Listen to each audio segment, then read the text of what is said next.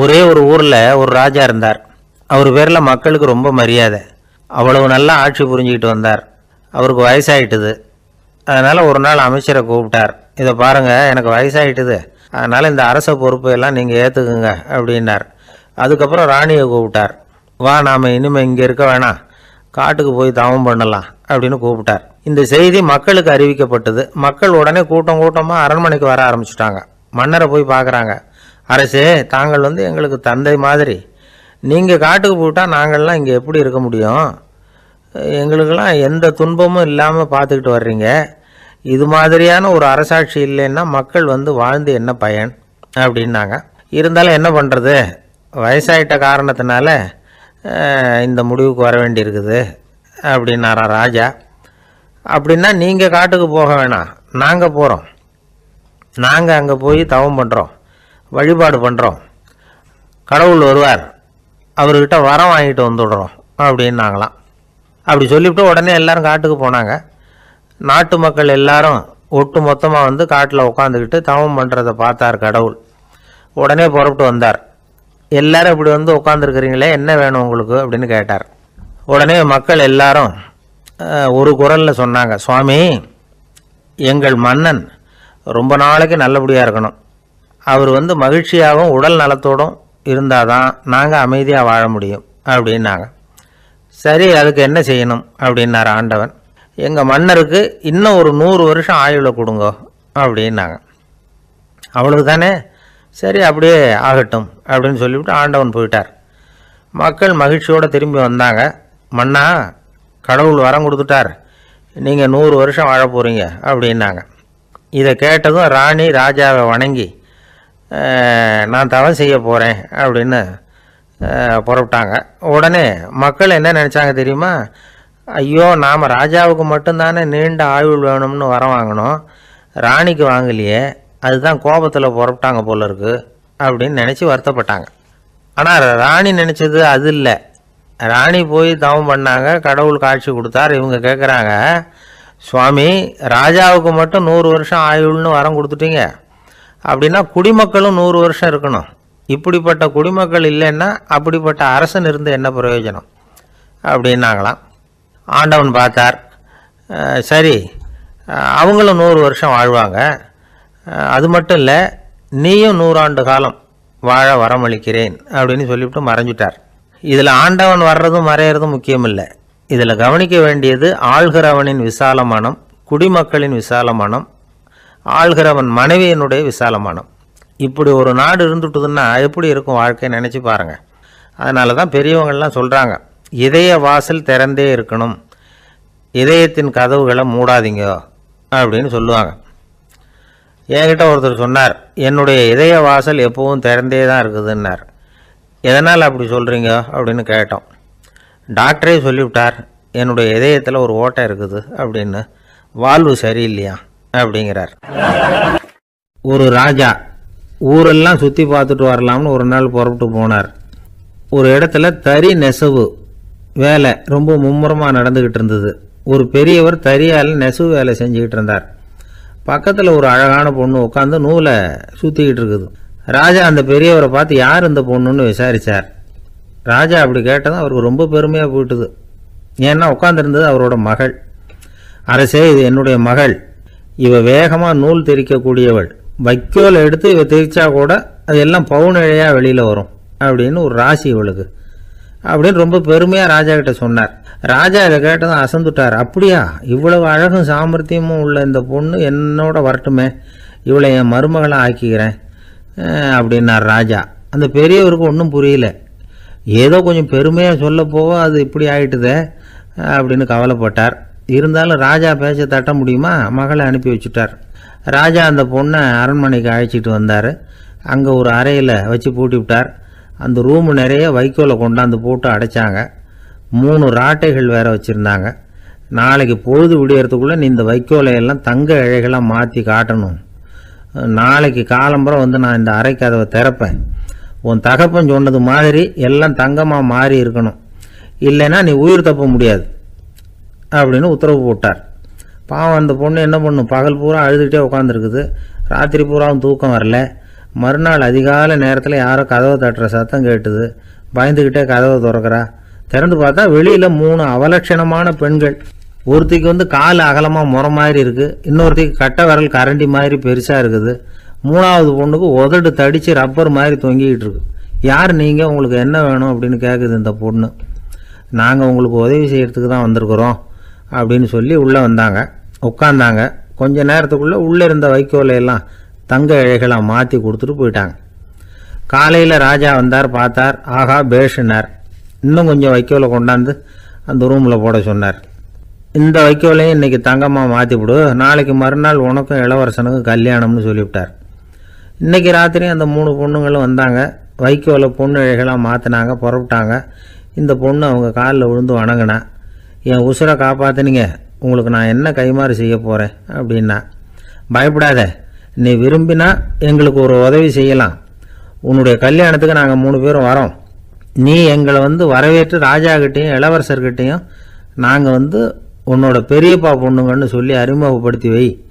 நாங்கள் விருந்து சாப்பிட்டுட்டு போயிடுறோம் அப்படின்னாங்க. ரொம்பவும் சந்தோஷமாக சரின்னு ஒத்துக்கிட்டா. கல்யாண நாள் வந்தது. கல்யாணம் ரொம்ப கோலாகலமாக நடந்துக்கிட்டு இருக்கு. எல்லா தேசத்து ராஜா ராணிகளும் வந்துக்கிட்டு இருக்கிறாங்க. அந்த மூணு அவலட்சணமான பொண்ணுங்களும் வந்து சேர்ந்தாங்க. யார் இவங்கன்னு கேட்டார் ராஜா. என் பெரியப்பா பொண்ணுங்க அப்படின்னு அந்த பொண்ணு. காலும் உதடும் கட்டை விரலும் ஏன் இப்படி உங்களுக்கு அவலட்சணம் ஆயிட்டுது அப்படின்னு கேட்டார். அதுக்கு அந்த பொண்ணுங்க பதில் சொன்னாங்க. என்ன செய்யறது? ஓயாமல் வைக்கோலை நூற்று ஒருத்தியோட கட்டை விரல் அப்படி கரண்டி மாதிரி ஆயிட்டுது.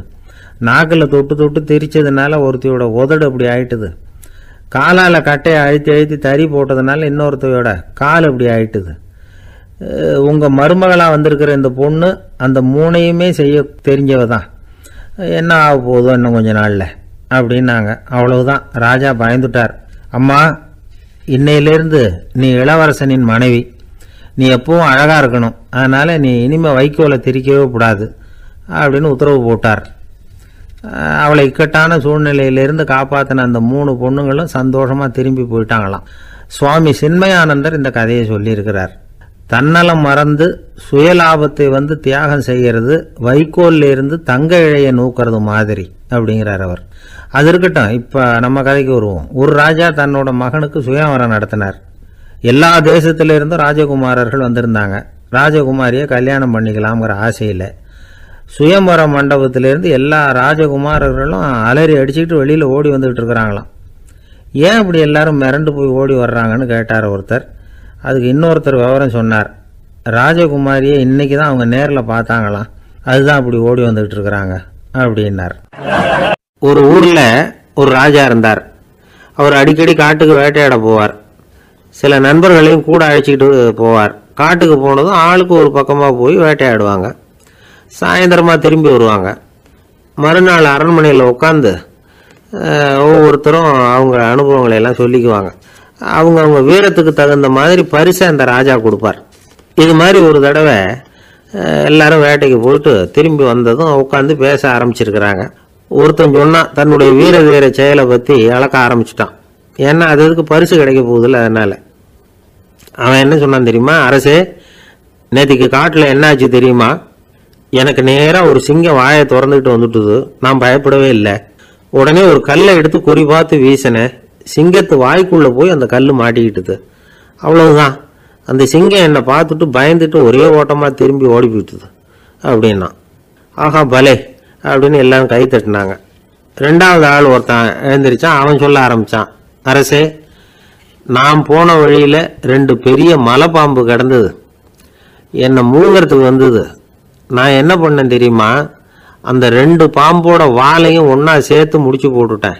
அவ்வளவுதான். அது அங்கே இழுக்க இது இங்கே இருக்க முடிச்சு நல்லா எருகி போட்டுது அப்படின்றான் ஆஹா அற்புதம்னு சொல்லி எல்லாரும் கை தட்டினாங்களாம். அடுத்தபடியாக மூணாவது ஆள் ஒருத்தன் வந்தான். அவன் சொல்ல ஆரம்பித்தான் மன்னா நான் போன பாதையில் குறுக்க ஒரு ஆறு. அதில் இறங்கி குளித்தேன் யாரோ காலை பிடிச்சி இழுக்கிறது மாதிரி இருந்தது. திரும்பி பார்த்தா ஒரு பெரிய முதலை. நான் உடனே அப்படியே ஒரு துள்ளல் துள்ளி அது முதுகில் போய் உக்காந்துக்கிட்டேன். அதை அப்படியே கரைக்கு நீந்த வச்சேன். கரைக்கு வந்து சேர்ந்ததும் அப்படியே ஒரே துள்ளா துள்ளி குதித்து கரைக்கு வந்துட்டேன் அப்படின்றான். அவன் தன்னுடைய வீரத்தை அப்படி சொல்லியிருக்கான். அடடா எப்பேற்பட்ட வீரம் அப்படின்னு எல்லாரும் கை தட்டினாங்களாம் நாலாவது ஆள் எழுந்திரிச்சான். மண்ணா நான் போன இடத்துல ஒரு கரடி வந்து என்னை துரத்த ஆரம்பிச்சுட்டுது. நான் ஒரு மலை உச்சிக்கு வந்துட்டேன். அதுக்கப்புறம் ஒரு அடி எடுத்து வச்சாலும் அதில் பாதாளத்தில் விழ வேண்டியது தான் அந்த நேரம் பார்த்து ஒரு பெரிய ராட்சச கழுகு அந்த பக்கமாக பறந்து வந்தது. நான் உடனே அப்படியே உயர எழும்பி அந்த கழுகோட காலை பிடிச்சிக்கிட்டேன். அப்படியே தொங்கிக்கிட்டே வந்தேன். ஒரு நல்ல இடம் வந்தது தொப்புன்னு கீழே குதிச்சு நடந்து வந்துட்டேன் நான். இதுக்கும் எல்லாரும் கை தட்டுறாங்க. கடைசியாக ஒரு ஆள் எழுந்திரிச்சான் அரசே நான் வந்து போன வழியில் ஒரு பெரிய யானை குறுக்க வந்தது. பயங்கரமாக சத்தம் போட்டுக்கிட்டே வந்தது. நான் பயந்து ஓடலை. உடனே என்ன பண்ணேன் தெரியுமா? அந்த யானையோட வாழை பிடிச்சி தூக்கினேன். தலைக்கு மேலே தூக்கி கர கர கர கரன்னு சுற்றினேன் வேகமாக சுற்றி வீசி எறிஞ்சேன். அவ்வளவுதான். அதே ஸ்பீடில் அந்த யானை மேலே போக ஆரம்பிச்சுட்டுது. இன்னும் கூட அது போய்கிட்டே தான் இருக்குது கீழே விழவே இல்லைன்னா. இதை கேட்டதும் ராஜாவுக்கு கோபம் வந்துட்டுது. என்னை என்ன முட்டாள்னு நினச்சிக்கிட்டு பேசுகிறியா யானையை வந்து நீ வாழை பிடிச்சி தூக்குன அதை நான் நம்பணுமா? அப்படின்னார். உடனே இவன் பணிவாக பதில் சொன்னான். அரசே ஒரு சிங்கத்து வாயில கல் மாட்டிக்கிட்டதை நம்புறீங்க. மலைப்பாம்பு வாலை பிடிச்சி முடிச்சு போட்டதை நம்புறீங்க. முதல்ல முதுகில் சவாரி பண்ணதையும் நம்புறீங்க. கழுகு காலை பிடிச்சிக்கிட்டு பறக்கிறதையும் நம்புறீங்க. அப்படி நம்புறப்போ நான் சொன்னதை மட்டும் நம்பக்கூடாதா அப்படின்னு கேட்டானான் பொய் சொன்னவங்கெல்லாம் தலையை தொங்க போட்டுக்கிட்டாங்களாம். ராஜா அவங்கள பார்த்து சொன்னாராம். நீங்கள் எல்லாரும் என்னை முட்டாளாக்கி இருக்கிறீங்க கடைசியாக பேசின இவன் தான் எனக்கு உண்மை எது பொய் எதுங்கிறத புரிய வச்சிருக்கிறான். இவன் தான் உண்மையான தைரியசாலி அப்படின்னு சொல்லி அவனுக்கே பரிசையெல்லாம் கொடுத்து பாராட்டினாராம். இப்படி ஒரு கதை. உண்மையை நிலைநாட்டுகிறவன் தான் உண்மையான வீரன் அப்படிங்கிறத இதிலிருந்து நாம் புரிஞ்சுக்கணும். இந்த காலத்துல எல்லாம் பொய் சொன்னாதான் பழைக்க முடியுங்கிறது ஒரு சில பேரோட நம்பிக்கை. ஒரு அப்பாவுக்கு தன் மகனுக்கு பொய் சொல்ல தெரியலையேங்கிற கவலை. பொய் சொன்னாதான் இந்த உலகத்தில் பிழைக்கலாம். ஆனால் இவனுக்கு அது தெரியலையே. அதனால் இவனை அழைச்சிட்டு போய் நடுக்கடலில் விட்டுட்டு வந்துடுவோம் அப்படின்னு அழைச்சிட்டு புறப்பட்டான். கடற்கரைக்கு போனான். மகனுக்கு சந்தேகம். எங்கேப்பா என்னை அழைச்சிட்டு போகிறேன்னு கேட்டிருக்கான். கடலில் மீன் பிடிக்க கற்றுக் கொடுக்க போகிறேன் உனக்கு அப்படின்னானா. நான் ஏற்கனவே மீன் பிடிச்சிட்டேனேன்னானா இவன். மகன் எங்கே அதுன்னு கேட்டிருக்கான் அப்பங்காரன். சுட்டு சாப்பிட்டுட்டேன்னு இருக்கான் புள்ள. அப்பங்காரன் பார்த்தான். சரி நம்ம புள்ள பொழைச்சிக்கோ அப்படின்னு சொல்லி திருப்பி அழைச்சிட்டு வந்துட்டானா இணை புரியாத ரெண்டு நண்பர்கள் இருந்தாங்களாம். ரெண்டு பேரும் விடாமல் சிகரெட் குடிக்கிறவங்க. அதில் ஒருத்தன் செத்து போட்டான். இன்னொருத்தன் அதுக்கப்புறம் ரெண்டு ரெண்டு சிகரெட்டாக குடிக்க ஆரம்பித்தானா ஏன் இப்படி பண்ணுறேன்னு கேட்டிருக்காங்க. நான் ஒரு சிகரெட்டு தான் குடிக்கிறேன்.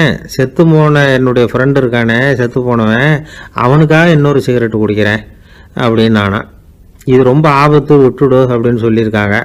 சரின்னு ஒத்துக்கிட்டான். ஆனால் அதுக்கப்புறமும் ஒரு சிகரெட் விதமாக குடிச்சிக்கிட்டே இருந்தான். சிகரெட் பழக்கத்தை நீ இன்னும் விடலையான்னு கேட்டாங்களாம். அந்த பழக்கத்தை நான் எப்போ விட்டுட்டேன். இப்போ நான் குடிக்கிறது என் ஃப்ரெண்டுக்காக அப்படின்னு நானாம் இவங்கெல்லாம் எப்படி திருந்துறது? காசி மாநகரத்தை பிரம்மதத்தன் அப்படிங்கிற ராஜா ஆட்சி பண்ணிட்டு வந்தார். அவர் ஒவ்வொரு வருஷமும் ஒரு திருவிழா நடத்துறது வழக்கம்.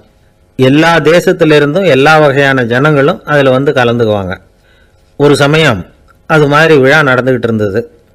வைகுண்டத்திலிருந்து தேவலோகத்திலிருந்து நிறைய தேவகுமாரர்கள்லாம் காசி நகருக்கு அப்போ வந்திருந்தாங்க. அதில் முக்கியமாக ஒரு நாலு தேவகுமாரர்கள் அந்த நாலு பேரையும் சுற்றி ஏகப்பட்ட கூட்டம். அப்படி என்ன விசேஷம் அவங்கக்கிட்ட அப்படின்னா மற்றவங்கள விட அவங்க முகம் அழகாக இருந்ததா? அப்படி பார்த்தா அப்படியும் இல்லை. அவங்க அணிஞ்சிருந்த மலர் மாலைகள் தான் அதுக்கு காரணமாக அந்த மலர்கள்லேருந்து அப்படி ஒரு அபூர்வமான நறுமணம். இதுக்கு முன்னாடி இப்படி ஒரு நறுமணத்தை அந்த ஊர் ஜனங்க அனுபவிச்சதே இல்லை. அதுதான் அந்த நாலு பேரையும் சுற்றி கூட்டம். எல்லாரும் கேள்வி கேட்க ஆரம்பித்தாங்க உடனே அந்த நாலு தேவகுமாரர்களும் எல்லாருக்கும் தெரியும்படியாக வானத்தில் எழும்பி கொஞ்சம் உயரமாக நின்றுக்கிட்டாங்க கீழே நின்றுக்கிட்டு இருந்த அரசன்லேருந்து ஆண்டி வரைக்கும் ஒருத்தர் பாக்கி இல்லாமல் ஒரே குரலில் எல்லாரும் அவங்கள பார்த்து எங்களுக்கும் இது மாதிரி மாலையை போட்டுக்கணும்னு ஆசையாக இருக்குது அதுக்கு நீங்கள் தான் அருள் பண்ணணும். அப்படின்னு கேட்டுக்கிட்டாங்க. மாலை போட்டுக்கிறதுனா எல்லாருக்கும் ஆசையாக தானே இருக்கும். அந்த நாலு தேவகுமாரர்களில் ஒருத்தர் புத்தர் பிரான். அவர் சொன்னார் பூலோகவாசிகளே நான் சொல்கிறத கொஞ்சம் பொறுமையாக கேளுங்க. கக்காரு அப்படிங்கிற கற்பக விருஷத்தின் மலர்களால் தொடுக்கப்பட்டது இந்த மாலை. இதுக்கு நிறைய சக்தி உண்டு. எந்த காலமும் இது வாடாது. வாசனையும் குறையாது. ஆனால் இதை அணிந்து கொள்றதுக்கு சில தகுதிகள் தேவை அப்படின்னார்.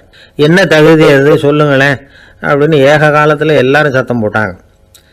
தீய இயல்புகள் உள்ளவங்க இழிந்த சிந்தனை இழிந்த செயல் உள்ளவங்க இந்த மாலையை அணிய முடியாது அப்படின்னார். அவ்வளோதான் கூட்டத்தில் சத்தம் போட்டவங்கள்லாம் மெதுவாக அப்படி அடங்க ஆரம்பிச்சிட்டாங்க. இன்னொரு தேவகுமாரன் சொன்னார் அடுத்தவங்க பொருளை அபகரிக்காதவன் அடுத்தவங்களுக்கு கெடுதல் பண்ணக்கூடிய பொய் பேசாதவன். பேராசையினால் கெட்ட வழியில் பொருள் ஈட்ட நினைக்காதவன். இந்த மாலையை போட்டுக்கலாம் அப்படின்னார். கூட்டத்திலிருந்து யாரும் முன்னுக்கு வரல. ஒரே ஒரு ராஜகுரு மட்டும் கொஞ்சம் முன்னாடி வந்தார். பெரியவர் படித்தவர் அவர். எனக்கு தகுதி இருக்குது அந்த மாலையை போட்டுக்கிறதுக்கு அப்படின்னார். வேறு ஒன்றும் இல்லை. பொய் சொல்லியாவது அந்த மாலையை வாங்கிக்குவோமே அப்படின்னு முடிவு பண்ணிட்டார் அவர். அவ்வளோதான் மாலையை வாங்கிட்டார். அடுத்த தேவகுமாரன் பேசினார். யாருக்கு திடமான அறிவும் மனமும் இருக்குதோ யாருக்கு நல்ல காரியங்களில் அசையாத ஈடுபாடு இருக்குதோ நல்ல அரிய பொருள்களை தனியாக தான் மட்டும் அனுபவிக்க விரும்பாதவர் யாரோ அவர் முன்னாடி வந்து இந்த மாலையை வாங்கிக்கலாம் அப்படின்னார். அந்த தகுதியும் எனக்கு இருக்குன்னார் ராஜகுரு. மாலையை வாங்கி போட்டுக்கிட்டார். இன்னொரு ராஜகுமாரன் பேச ஆரம்பித்தார் அறநெறியில் செல்வம் சேர்க்கணும். ஆடம்பர பொருள்களுக்கு அடிமையாகக்கூடாது வெற்றி அடைஞ்சாலும் கருவம் வரக்கூடாது. அப்படிப்பட்டவங்க இந்த மாலையை போட்டுக்கலாம்னார். துணிஞ்சு பொய் சொல்லி அதையும் வாங்கி கழுத்தில் போட்டுக்கிட்டார் இந்த ராஜகுரு. இன்னொரு ராஜகுமாரன் சொன்னார் சான்றோர்களை நிந்திக்காதவங்க புறம் பேசாதவங்க இந்த மாலையை போட்டுக்கலாம்னார். அதையும் வாங்கி போட்டுக்கிட்டார். திருவிழா முடிஞ்சுது. எல்லாரும் திரும்பி போயிட்டாங்க. மறுநாள் ராஜகுரு நாலு மாலைகளையும் போட்டுக்கிட்டு ராஜசபைக்கு வரார். வந்தவர் ரொம்ப அவஸ்தையோடு வர்றார். மாலையெல்லாம் வாடி போயிட்டுது. வாசனை எதுவும் கிடையாது. அது மட்டும் இல்லை அவருக்கு கடுமையான தலைவலி வேற வந்துட்டுது. துடிச்சு போயிட்டார். மாலையை கழட்டவும் முடியல. ஜனங்கள்லாம் அவரை பார்த்து சிரிக்க ஆரம்பிச்சிட்டாங்க. என்னத்துக்கு ஆசைப்படணும்? ஏன் இப்படி கஷ்டப்படணும்? அப்படின்னு. ராஜா பார்த்தார். மறுபடியும் விழாவுக்கு ஏற்பாடு பண்ணினார். தேவகுமாரர்கள்லாம் வந்தாங்க. ராஜகுரு வந்தார். மக்கள் முன்னிலையில் அவங்க காலில் விழுந்தார் மன்னிப்பு கேட்டுக்கிட்டார். இந்த மாலையை போட்டுக்கிற தகுதி எனக்கு இல்லை. தகுதி இல்லாத ஒருத்தன் தகாத தகுதியை பொய் மூலம் பெறணும்னு ஆசைப்படுறாங்களே அவங்களுக்கெல்லாம் என்னுடைய தண்டனை ஒரு எச்சரிக்கையாக இருக்கட்டும்னார். அதுக்கப்புறம் தேவகுமாரர்கள் அவர் கழுத்தில் இருக்கிற மாலையை கழட்டினாங்களாம். அந்த மாலைகளும் பழையபடி மனம் கொடுக்க ஆரம்பிச்சுட்டு தான் இதுலேருந்து நாம் தெரிஞ்சுக்க வேண்டியது என்னென்னா நமக்கு தகுதி இல்லாத ஒரு கௌரவம் நம்மக்கிட்ட தானாக வந்தால் கூட அதை வந்து தவிர்த்து விடுறது தான் நல்லது. அதுதான் புத்திசாலித்தனம். ஒருத்தர் வந்தார் சார் எங்கள் இலக்கியம் மன்ற விழாவுக்கு நீங்கள் வந்து தலைமை தாங்கணும்னார். உடனே இவர் சொன்னார் பேச்சாளர் சார் இலக்கியத்தை பற்றி பேசுகிற தகுதி எனக்கு இல்லையே அப்படின்னார். உடனே அவர் கூப்பிட வந்தவர் சொன்னார் அந்த தகுதி உங்களுக்கு இல்லைங்கிறது எங்களுக்கும் தெரியும் சார். அதனால தான் உங்களை தலைமை தாங்க கூப்பிட்றேன் அப்படின்னார். அது சரி தலைமைன்னா அதுக்கு இவர் என்னதான் அர்த்தம் பண்ணுறாருன்னு தெரியல. அளவுக்கு மிஞ்சினால் அமிர்தமும் நஞ்சு அப்படின்னு சொல்லுவாங்க. அது உண்மைதான். ஒருத்தருக்கு அளவுக்கு மீறிய புகழ் வந்துட்டுதுன்னு வச்சுங்க அது கூட ஆபத்தா போயிடுறது உண்டு. பழங்காலத்துல எல்லாம் கிரேக்க தேசத்துல ஒரு பழக்கம் உண்டாம். அதாவது யாராவது ஒருத்தரை நாடு கடத்தணும்னா அதுக்கு ஒரு வழி உண்டு. அதாவது ஒருத்தரை நாடு கடத்தணும்னு மக்கள் விரும்புகிறாங்கன்னு வச்சுங்களேன் அவர் பேரை ஒரு மண்பாண்ட ஓட்டுச்சில்லில் எழுதி அதை வந்து ஒரு குறிப்பிட்ட பொது இடத்துல போட்டுற வேண்டியது. அவ்வளவுதான். இது மாதிரி பல பேர் போட்டுக்கிட்டே இருப்பாங்க. எல்லாம் அப்படியே குவிஞ்சு போயிடும். அந்த ஓட்டாஞ்சில்லு குவியலில் யாருடைய பேர் அதிகமாக இருக்குதோ அந்த நபரை ஒரு பத்து ஆண்டுகள் நாடு கடத்தி விடுவாங்க. இது அந்த ஊர் வழக்கமாக ஒரு நாள் அந்த குவியலுக்கு பக்கத்தில் ஒரு ஆள் நின்றுக்கிட்டு இருக்கிறான். அவன் கையில் ஒரு ஓட்டாஞ்சில்லு வச்சுருக்கிறான். அதில் யாரோட பேரையோ எழுதணும். எழுதி அந்த இடத்துல போடணுங்கிறது அவன் ஆசை. ஆனால் அவன் படிக்காதவன். அதனால் எழுத தெரியல. யாராவது அந்த வழியாக வர்றாங்களான்னு பார்த்துக்கிட்டே நின்றுக்கிட்டு இருந்தான். ஒரு பெரியவர் வந்துக்கிட்டு இருந்தார். அவர்கிட்ட ஓடினான். கையில் இருந்த மண்பாண்ட சில்லை கொடுத்தான். ஐயா இதில் ஒரு பேர் எழுதி கொடுங்களேன்னா. அந்த பெரியவர் அதை வாங்கி கையில் வச்சுக்கிட்டு என்ன பேர் எழுதணும் சொல்லு? அப்படின்னா இவன் சொன்னான். அரிஸ்டைடிஸ் அப்படின்னு எழுதுங்க அப்படின்னா. இதை கேட்டதும் அந்த பெரியவருக்கு அதிர்ச்சி. ஏன்னா அவர் தான் அரிஸ்டைடிஸ் தத்துவ மேதை அரிஸ்டைடிஸ் அவர். இருந்தாலும் நான் தான் அதுங்கிறத காட்டிக்காமல் அந்த ஆளுகிட்ட கேட்டார். அது சரிப்பா? அரிஸ்டைடிஸுங்கிற பேரை எழுத சொல்கிற அவர் உனக்கு என்ன கெடுதல் பண்ணார்? அவர் பேரை இதில் எழுத சொல்கிறியே அப்படின்னு கேட்டிருக்கார். அதுக்கு இவன் சொன்னானா அவர் எனக்கு எந்த கெடுதலும் பண்ணலை. அவரை நான் பார்த்தது கூட இல்லை அப்படின்ட்டுருக்கான் அப்புறம் எதுக்காக அவரை வந்து நாடு கடத்தணும்னு நீ ஆசைப்படுற? அப்படின்னு கேட்டிருக்கார். இப்போ அந்த ஆள் சொல்கிறான் அரிஸ்டைடஸை பற்றி எல்லாரும் பேசுகிறாங்க அவர் ரொம்ப நல்லவர் அவர் ஒரு பெரிய அறிவாளிங்கிறாங்க. அவர் ஒரு பெரிய வள்ளல் பேரறிஞர் இப்படி எல்லாரும் சொல்கிறத கேட்டு கேட்டு எனக்கு ரொம்ப அழுத்து போயிட்டுது. அதனால தான் வெறுப்பாயிட்டேன் அப்படின்னு நானும். இதிலேருந்து என்ன தெரியுது? நாம் நல்லவனாக இருக்கிறதுல ஒன்றும் இடைஞ்சல் இல்லை. ஆனால் நம்மளை நல்லவன் நல்லவன் எல்லாரும் சொல்ல ஆரம்பிச்சிட்டாங்கன்னு வச்சுக்கோங்க. அப்போ இடைஞ்சல் ஆரம்பம்னு அர்த்தம். எதுவுமே அளவுக்கு மிஞ்சி போகாமல் பார்த்துக்க வேண்டியது ரொம்ப அவசியம். அளவுக்கு அதிகமாக ஆசைப்படாதவங்களில் ஆப்ரஹாம் லிங்கனும் ஒருத்தரான் அவர் ஒரு தடவை தன்னுடைய நண்பர்கள்கிட்ட பேசிக்கிட்டு இருந்தாராம். ஒருத்தர் கேட்டிருக்கார் ஒரு மனுஷனுக்கு கால்கள் வந்து எவ்வளோ உயரம் இருக்கணும்? அப்படின்னு கேட்டாராம். இதுக்கு ஆபிரகாம் லிங்கன் சொன்னாராம். அது என்ன இடுப்புலேருந்து தரையை தொடுற அளவுக்கு உயரம் இருந்தால் போதும் அப்படின்னாராம்.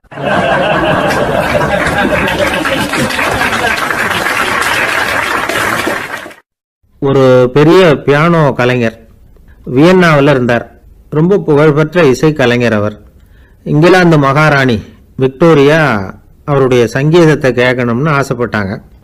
அவரை அரண்மனைக்கு கூப்பிட்டாங்களாம். பியானோ வாசிக்க சொல்லி கேட்டாங்களாம். இவரும் ரொம்ப பிரமாதமாக வாழ்ச்சி காட்டியிருக்கார். உடனே பாராட்டி பரிசுகள்லாம் கொடுத்து அனுப்புனாங்களாம். அந்த இசையை கேட்குறதுல அரசிக்கு ரொம்பவும் ஆர்வம் உண்டு. அதனால் அதுக்கப்புறமும் அந்த கலைஞர் அடிக்கடி அரண்மனைக்கு வர வேண்டிய அவசியம் ஏற்பட்டது. ஏன்னா அரசி கூப்பிட ஆரம்பித்தாங்க இவர் போகணும் அங்கே இசை நிகழ்ச்சி நடத்தணும். இவர் அங்கே பாடி வாசிக்கிறது உண்டு. ஒரு தடவை வந்து மகாராணி அவரை பார்த்து உங்கள் நாட்டு தேசிய கீதம் பாடுங்களேன் அப்படின்னு கேட்டாங்களாம். உடனே அவர் தன்னுடைய நாடான ஆஸ்திரியாவின் தேசிய கீதத்தை பாடியிருக்கிறார். அவர் பாட ஆரம்பித்த உடனே மகாராணி எழுந்திருச்சு நின்னாங்களாம். அதுக்கு மரியாதை செலுத்துகிற நோக்கத்தோட பாட்டு முடிகிற வரைக்கும் அப்படியே நின்றுக்கிட்டு இருந்தாங்களாம். இதுதான் அந்த அரசியினுடைய பெருந்தன்மை. அதாவது நாட்டுப்பற்றுங்கிறது அந்த அளவுக்கு அப்படி இருக்கணும். இப்படி ஒரு அரசியே நம்ம நாட்டு தேசிய கீதத்துக்கு எழுந்திருச்சு நின்று மரியாதை செலுத்துகிறாங்க அப்படிங்கிறது புரிஞ்சுக்கும் பொழுது அந்த முதிய கலைஞரின் மகிழ்ச்சிக்கு அளவே இல்லையாம். அதுக்கப்புறம் அந்த பியானோ கலைஞர் ஒரு நாள் தன்னுடைய நண்பர் ஒருத்தர்கிட்ட பேசிக்கிட்டு இருந்தாராம். அப்போ சொன்னாராம் மகாராணியார் வந்து எனக்கு எவ்வளவோ பரிசுகள்லாம் கொடுத்துருக்குறாங்க. ஒரு தடவை எனக்கு வைரக்கல் பதித்த அணி ஒன்றை கூட பரிசாக கொடுத்தாங்க. ஆனால் அதை விட உயர்ந்த விலை மதிக்க முடியாத அணி என்ன தெரியுமா? நான் என்னுடைய நாட்டு தேசிய கீதத்தை நான் பாடுறப்போ அவங்க எழுந்திரிச்சு நின்று மரியாதை செலுத்தினாங்களே.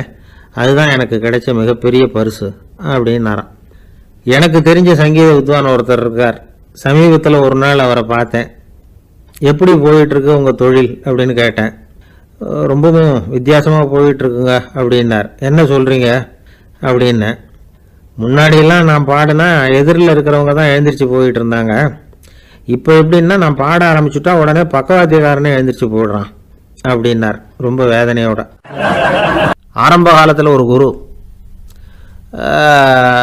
அப்போ ஒரு சீடன் இருந்தான். அது வேடிக்கையான குரு வேடிக்கையான சீடன். ஒரு ஆசிரமம். ஒரு நாள் ஒருத்தன் அவசரமாக அந்த குருவை தேடி வந்திருக்கிறான். என்ன விஷயம்னு விசாரித்தார் குரு. உங்கள் சீடர் என்னை வந்து அடிச்சுட்டார் அப்படின்னு புகார் பண்ணானாம் அந்த ஆள். குரு சீடனை கூப்பிட்டார். அடிச்சியா இந்த ஆளை? அப்படின்னு கேட்டாராம். ஆமான் இருக்கான் சீடன். ஏன் அடிச்சே? அப்படின்னு கேட்டாரான் இந்த ஆள் உங்களை பற்றி மட்டமாக பேசிவிட்டான் என்னால் அதை தாங்கிக்க முடியல. அதனால தான் அடிச்சுட்டேன்ருக்கான். அப்படி என்ன பேசினா அப்படின்னு கேட்டாராம். உன்னுடைய குருநாதர் இப்போல்லாம் அர்த்தமில்லாமல் பேச ஆரம்பிச்சிட்டார் அப்படின்னு சொல்லிவிட்டான். அதனால தான் அடிச்சுட்டேன் அப்படின்னானான் அதுக்காகவா அதுக்காக அடிச்சே நான் அதுக்காக அடிக்கலை குருவே. இப்போல்லாம் நீங்கள் அர்த்தம் இல்லாமல் பேசுகிறதாக அவன் சொல்கிறான் அப்படின்னா இது வரைக்கும் நீங்கள் அர்த்தத்தோடு பேசினதாகத்தானே அர்த்தம். அது தப்பு தானே. அதனால தான் அடித்தேன் அப்படின்னு நானும் ஒரு பெரியவர் உட்கார்ந்துருக்கிறார். அவரை சுற்றி அவருடைய தோழர்கள் உட்காந்துருக்கிறாங்க ஏதோ ஒரு முக்கியமான செய்தியை அவர் வந்து அவங்களுக்கு சொல்லிகிட்டு இருக்கிறார் அவங்களும் ஆர்வமாக கேட்டுக்கிட்டு இருக்கிறாங்க இந்த சமயத்தில் யாரோ ஒரு ஆள் வேகமாக அங்கே வர்றார். வர்ற வேகத்திலேயே எனக்கு ஏதாவது உதவி செய்யுங்க அப்படின்னு கேட்டுக்கிட்டே வர்றார். கேட்குறது உதவி ஆனால் குரல் வந்து மிரட்டுறது மாதிரி இருக்குது அதட்டி கேட்குறது மாதிரி இருக்குது இதை கேட்டதும் அந்த பெரியவர் ஆத்திரப்படலை.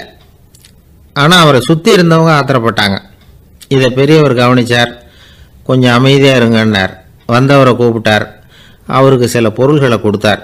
என்னங்க இப்போ உங்களுக்கு மகிழ்ச்சி தானே? அப்படின்னார். ஆ ஆ அப்படின்னு அலட்சியமாக அவர் சொல்கிறார் நான் உங்களை நல்ல முறையில் நடத்தினேன்னா அப்படின்னு கேட்குறாரு அவர் மறுபடியும். அதெல்லாம் ஒன்றும் இல்லை அப்படின்னு சொல்லி அவர் சொல்லிகிட்டு இருக்கிறாரு. குரலில் வந்து கடுமை குறையில. சுற்றி இருந்தவங்களால இதை பொறுத்துக்க முடியல. கோபத்தோடு அவரை நோக்கி நெருங்க ஆரம்பித்தாங்க பெரியவர் அவங்களையெல்லாம் தடுத்து நிறுத்தினார். வந்தவரை வாங்க என்னோட அப்படின்னு சொல்லி அழைச்சிட்டு போனார் வீட்டுக்கு போனார். அங்கே போனதும் இன்னும் சில பொருள்களை எடுத்து அவர்கிட்ட கொடுத்தார். இப்போ திருப்தி தானே? நான் உங்ககிட்ட நல்ல முறையில் நடந்துக்கிட்டேனா? அப்படின்னார். அவர் முகம் இப்போ தான் கொஞ்சம் மலர்ந்தது. ரொம்ப நன்றி. இறைவன் வந்து உங்கள் குடும்பத்துக்கு எல்லா நன்மைகளையும் செய்வான் அப்படின்னு சொன்னார். இதே வார்த்தைகளை என்னுடைய தோழர்கள்கிட்டே வந்து சொல்லிட்டீங்கன்னா அவங்க கோபம் தணிஞ்சிரும்.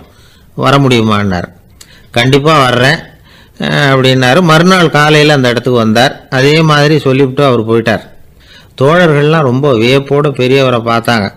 அந்த பெரியவர் தான் நபிகள் நாயகம். அவர் சொன்னார் ஒருத்தன் ரொம்ப ஆசையாக ஒரு ஒட்டகத்தை வளர்த்துக்கிட்டு வந்தான். ஒரு நாள் அந்த ஒட்டகம் வந்து கயத்தை அறுத்துக்கிட்டு ஓடி போயிட்டுது. அக்கம் பக்கத்தில் இருக்கிறவங்கெல்லாம் அந்த ஒட்டகத்தை பிடிக்கிறதுக்கு முயற்சி பண்ணாங்க. அதை துரத்திக்கிட்டு ஓடினாங்க. ஒட்டகம் வந்து தாறுமாறாக ஓட ஆரம்பிச்சுது. இந்த சமயத்தில் ஒட்டகத்தை வளர்த்தவன் அங்கே ஓடி வந்தான். நீங்கள் அதை ஒன்றும் செய்ய வேணாம். விட்டுருங்க. அதோட சுபாவம் எனக்கு நல்லா தெரியும். அதை சுலபமாக என்னோடய வழிக்கு கொண்டுட்டு வந்துட முடியும். நான் பார்த்துக்கிறேன் விட்டுருங்கோ அப்படின்னா. எல்லாரும் விலகி போயிட்டாங்க. இவன் என்ன செஞ்சான் தெரியுமா? கொஞ்சம் புல்லை கையில் எடுத்துக்கிட்டு அந்த ஒட்டகத்தை நெருங்கினான் அவ்வளவுதான். அது ஓடி வந்து இவன் காலடியில் உட்காந்துக்கிட்டது செல்லமாக அதை அப்படியே தடவி கொடுத்தான் முதுகில் ஏறி உட்காந்துக்கிட்டான் அது பாட்டுக்கு சாதுவாக நடந்து போகுது. இந்த கதையை நபிகள் நாயகம் தம்முடைய தோழர்களுக்கு சொல்கிறார் ஒட்டகத்தை மட்டும் இல்லை சில மனிதர்களையும் கூட சில விதத்தில் அணுகி தான் அவர்களை வந்து சீர்திருத்த வேண்டியிருக்குது அப்படிங்கிறத அவங்களுக்கு உணர்த்தினார். இது ஒரு அழகான உளவியல் அணுகுமுறை. சில குடும்ப தலைவர்கள் கூட இந்த ஒட்டகம் மாதிரி நடந்துக்கிறது உண்டு. அப்புறம் அடங்கி போகிறதும் உண்டு. ஒரு குடும்ப தலைவர் காலையில் எழுந்திரிச்சதுலேருந்து சத்தம் போட்டு கத்திக்கிட்டு இருப்பார். பக்கத்தில் இருந்தவங்கலாம் ஓடி போய் சமாதானம் பண்ணி பார்த்தாங்க. அவர் ஓயறது மாதிரி தெரியல. கடைசியில் அவர் மனைவி வந்தாங்க. நீங்கள் எல்லாம் விலகி போயிடுங்க. அவர் சுபாவம் எனக்கு தெரியும். நான் பார்த்துக்கிறேன். அப்படின்னாங்க. சரின்னு எல்லோரும் போயிட்டாங்க. சாயந்தரமாக வந்து பார்க்குறாங்க. அவர் சத்தம் இல்லாமல் ஒரு மூலையில் உட்காந்துருக்கிறார் ரொம்ப சாதுவா. ஆச்சரியமாக இருந்தது. என்னம்மா பண்ணீங்கன்னு கேட்டாங்க. அது ஒன்றும் இல்லைங்க ஒரு வேளை சாப்பாட்டை நிறுத்தினேன். பட்னி போட்டேன் அவ்வளவுதான் அப்படின்னாங்க அந்த அம்மா. என்னை விட யோக்கியம் இந்த உலகத்தில் வேற யாரும் இல்லை சார் அப்படின்னார் ஒருத்தர். அவரை விட அயோக்கியன் வேற யாரும் இருக்க முடியாதுங்கிற முடிவுக்கு கேட்டவங்க வந்துட்டாங்களாம். மனுஷனுக்கு இருக்கிற ஒரு மிகப்பெரிய குறையே தன்கிட்ட இருக்கிற குறை அவனுக்கு தெரியாமல் போகிறது தான் ஆனால் அடுத்தவங்ககிட்ட இருக்கிற குறை இவனுக்கு தெளிவாக தெரிஞ்சிடும் ஒரு ஒட்டகம் ஒரு கொக்கை பார்த்து ஒரு கேள்வி கேட்டுதான். என்ன கேள்வி தெரியுமா? உன் கழுத்து ஏன் இப்படி வளைஞ்சு போயிருக்குது? அப்படின்னு கேட்டிருக்கு. இதுக்கு உடம்பே வளைச்சல். இது போய் கொக்கை கிண்டல் பண்ணுது. இன்றைக்கி மனித சுபாவமும் கிட்டத்தட்ட இப்படி தான் இருக்குது. இந்த உலகத்தில் குறையில்லாத மனிதர்கள் யாரும் கிடையாது. நாம் உள்பட அப்படிங்கிறத முதல்ல நாம் நல்லா புரிஞ்சுக்கணும். ஒரு ஊரில் ஒரு விற்பனை நிலையம் இருந்தது. செல்ல பிராணிகளை விற்பனை செய்கிற நிலையம் அது. நாய் கிளி பூனை இப்படி நிறைய வச்சு விற்பனை பண்ணிகிட்டு இருக்கிறாங்க. நாய்க்குட்டி விற்பனை செய்கிற பகுதியில் ஒரு சிறுவன் நின்றுக்கிட்டு இருந்தான். விற்பனை செய்கிற ஆளுகிட்ட விலை கேட்டுக்கிட்டு இருந்தான். அதுவும் இருக்குதே அந்த நாய்க்குட்டி என்ன விலை அப்படின்னு கேட்டானா. ஆயிரம் ரூபா அப்படின்னாராம். சரி அது வேணாம். இது என்ன விலைன்னு இருக்கான் ஐநூறுரூவா அப்படின்னாராம். இந்த சின்ன பையன் கையில் வச்சுருந்தது வெறும் ஐம்பது ரூபா தான். அதனால் இதை விட குறைச்சலாக கிடைக்குமான்னு பார்த்துருக்கான். அந்த கடையில் ஒரு மூலையில் சரியாக கவனிக்கப்படாமல் ஒரு நாய்க்குட்டி படுத்து கிடந்தது. பாவமாக கத்திக்கிட்டு இருந்தது. அதை பார்த்ததுமே இவனுக்கு அது ரொம்ப பிடிச்சி போச்சு. உடனே அந்த கடைக்காரரை பார்த்து அதுவும் அந்த மூலையில் படுத்து கிடக்குதே. அந்த நாய்க்குட்டி என்ன விலை? அப்படின்னு கேட்டிருக்கான். தம்பி அது ஒரு கால் ஊனம். அதனால் அது உன்னோட குதித்து விளையாடவோ ஓடுறதோ அதால் முடியாத காரியம். அப்படின்ட்டுருக்கார் அவர். அது தெரிஞ்சுதாங்க கேட்குறேன் அதோடய விலை என்ன? அதை மட்டும் சொல்லுங்களேன் அப்படின்ட்டுருக்கான் தம்பி இது வந்து கால் ஊனம் உள்ள ஒரு நாய். இதை போய் காசு கொடுத்து வாங்குறதுக்கு யாராவது பிரியப்படுவாங்களா? இதை நான் உனக்கு இலவசமாகவே தர்றேன் எடுத்துகிட்டு போ அப்படின்னாராம். இதை கேட்டதும் அந்த சிறுவனுக்கு கோவம் வந்துட்டு தான் நீங்கள் ஒன்றும் சும்மா கொடுக்க வேணாம். இந்தாங்க ஐம்பது ரூபா. இதை வச்சுக்கிட்டு நாய்க்குட்டியை கொடுங்க அப்படின்ட்டுருக்கான் அவருக்கு ஒன்றும் புரியல. ஆச்சரியமாக இருந்தது. சரின்னு பணத்தை வாங்கிட்டு நாய்க்குட்டியை தூக்கி கொடுத்தார். அந்த சிறுவன் அந்த நாய்க்குட்டியை ரெண்டு கையாலையும் வாங்கினா மார்போட பிரியமாக சேர்த்து அணைச்சிக்கிட்டான் தெருவில் இறங்கி நடக்கிறான். அப்படி நடக்கும்பொழுது தான் பார்க்குறார் கடைக்காரர் வந்து ஆச்சரியமாக அவனை பார்க்குறார் அப்போ தான் அவருக்கு ஒரு விஷயம் புரியுது. அந்த சிறுவன் தெருவில் நாய்க்குட்டியை மார்போடு அணைச்சிக்கிட்டு விந்தி விந்தி நடந்து போய்கிட்டு இருக்கிறான். ஆமாம் அவனுக்கும் ஒரு கால் ஊனம் இந்த நாய்க்குட்டியை யாருமே வாங்க மாட்டாங்கன்னு நினச்சிக்கிட்டு இருந்தார். குறையுள்ள அதுக்கும் ஒரு எஜமானன் கிடச்சிட்டான். அதனால் ஊனம் ஒரு குறை இல்லை அப்படிங்கிற உண்மையை அந்த கடைக்காரர் புரிஞ்சுக்கிட்டாரான் நம்மால் ஒருத்தர் கொஞ்சம் வயசானவர் எழுந்திரிச்சு சரியாக நடக்க முடியாது. சாய்வு நாற்காலியிலேயே எப்பவும் உட்காந்துருப்பார் அவர் தனக்கு துணையாக ஒரு நாயை பக்கத்தில் வச்சுருந்தார். அதுவும் ரொம்ப வயசான ஒரு நாய் எழுந்திரிக்கவே சிரமப்படும். நடக்கவும் முடியாது. அவர் பக்கத்துலேயே இதுவும் சோர்ந்து போய் படுத்து கிடக்கும். அந்த பெரியவரை பார்க்க வந்த ஒருத்தர் கேட்டார் ஏங்க ஒரு சின்ன பையனை உங்களுக்கு துணையாக வச்சுக்கக்கூடாதா இந்த நாயை உங்களுக்கு பாதுகாப்பாக வச்சுருக்கிறீங்களே. உங்களுக்கு ஒரு ஆபத்துன்னா இது எப்படி உங்களுக்கு உதவ முடியும்? அப்படின்னார். அப்போ அவர் சொன்னாராம் எனக்கு ஒரு ஆபத்துன்னா அந்த சமயத்தில் இந்த நாய் என்னை தனியாக விட்டுட்டு ஓடி போயிடாமல் இருக்கணும்ல அதுக்காக தான் இதை நான் வச்சுருக்கிறேன் அப்படின்னாராம். ஒரு ஜென் துறவி